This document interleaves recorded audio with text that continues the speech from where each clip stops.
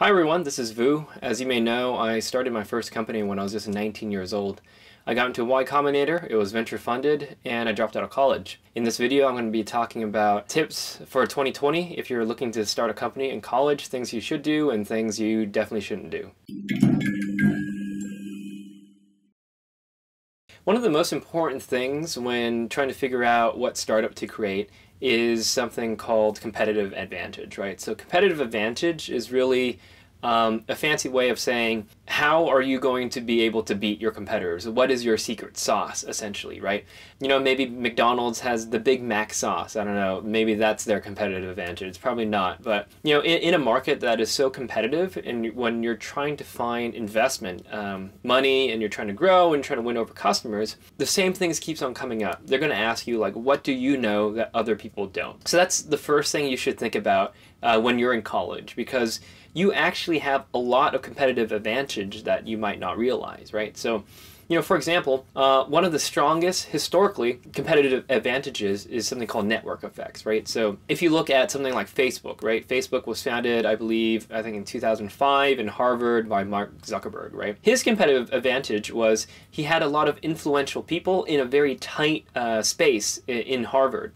Um, people that were, you know, early adopters and people that kind of thought about technology. So when he released Facebook in there, if he's able to demonstrate that this is something that can be sticky, if this is something that can be used uh, by a small number of, of, of, people, it's very easy then to take that to investors in the future and show them like, hey, this is something that we can replicate.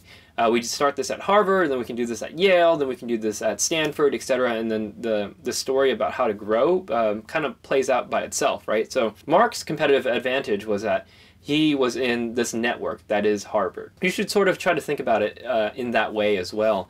Um, there are other companies out there that also use network effects uh, to their competitive advantage, such as uh, Yik Yak, right? I don't know if you remember Yik Yak, but it's kind of dead now. But I think after a year of launching or so, they were worth something like $300 million just because of how fast they were able to accelerate, right? The thing that people like about college students and early adopters is, you know, we look at college students and young people as you know tomorrow's future users. If you can win over the college users in four to six years, they're going to be 22, 26, 28 years old, right? Um, they're going to be the the generation that go, is going to spend the most amount of money. So if you can capture that user base and make them stick to your product, that is a very compelling story to tell investors. When you're talking about competitive advantage, the opposite can be true, right? You can really shoot yourself in the foot if you don't use that to your advantage. So for example, if you are a college student and you came to me and you're telling me you're trying to make a social network for old people, my first question is why the heck are you doing this? What do you know about old people, right? If you're building something not for yourself, not for your population, um, then I, I wouldn't really look there because the question is why would you, as a college student, uh, know about the space more than somebody could, right? Really look towards your colleagues, look towards your fellow students, and try to figure out the problems that they have that you can solve, and those will be the most valuable uh, things that can be worth a billion dollars in the future. For example, a good company that did this in the past is a company called DoorDash. Um, they uh, were founded in uh, Stanford actually, and I think the problem that they realized is that you know a lot of their their fellow students they wanted to deliver food to their dorms, to their apartments, and it was like kind of far away, and not a lot of these restaurants had delivery outside of like the basic Chinese, the basic uh, pizza delivery shops, right? So these students created this platform called DoorDash, which um, you know, once you ordered it, you'd get dashers or people that went to these restaurants for you and deliver it to you. It seems like a very basic concept, but people at Stanford really loved this and they really relied on this, and then they were able to expand past Stanford and into um, you know, Palo Alto and Mountain View, uh, those areas around there. Another example of building what your fellow students need is Dropbox, right? So the founder, Drew Houston, was a student, I can't remember where, um, but the story goes that he and his fellow students, they were really annoyed with losing USB uh, little, uh, you know, those plug-in USB storage devices, and they were really sick of emailing each other uh, different versions of their essays and whatnot and their projects. So what Drew uh, ended up doing was just creating a simple server where you can upload things and it sync on a bunch of devices, and thus that's how Dropbox was born, right? Another framework in order to think about startup problems is just to build things that would waste a lot of time for your fellow students, that would entertain them. A good example of this is startups like Reddit. Um, that was created by Steve Huffman and Alexis Ohanian when they were still in college.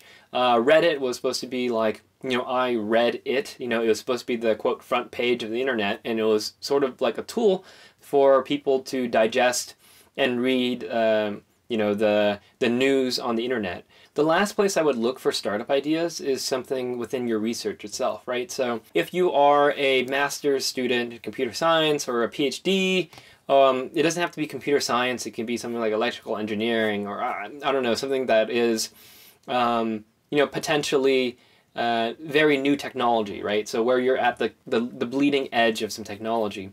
Uh, there's a lot of um, startups that have sprung up uh, from you know these graduate students themselves applying this technology uh, into the public sector. One of the best examples of this is Google. So uh, Larry Page and Sergey, uh, they were graduate students, I think at Stanford. someone can correct me on this, but um, they were doing a research paper on kind of like search and stuff like that, and that's where kind of Google was kind of born. So, you know, nowadays uh, in 2020s, really popular fields of study could be like machine learning, AI, big data, um, quantum computing, the, that kind of stuff, or maybe even know, biomedical uh, neural interfaces, right? So if you're in those sorts of field and you know something that uh, the rest of the population might not know, that could be a very good uh, potential um, gold mine for you uh, in order to extract a lot of value because that is your competitive advantage. So it'd be a good place to look. When it comes down to it, the startups that I made eight years ago or 10 years ago, or whoever made uh, 15 years ago, like the Mark Zuckerbergs out there, are not going to be the same startups that are going to be successful in 2020 and beyond. The market changes. A lot of these ideas have already been taken, but the framework in which you can find new startups remain, I believe, relatively unchanged you should really think about your competitive advantage. You should think about your network. You should think about your fellow students and their problems. And you should think about the research that you uh, know deeply um, and see if there's something in there that you can make into a potential startup. That is really, I believe, the best way uh, for you to find future success. Do not try to copy uh, what has already been done before, uh, but look ahead and try to pave the path forward. Um, that's my advice to you. Um, if you like this video, hit the like button. If you want to hear more advice, you know, make sure to subscribe and uh, leave a comment below if you have any questions. Thank you.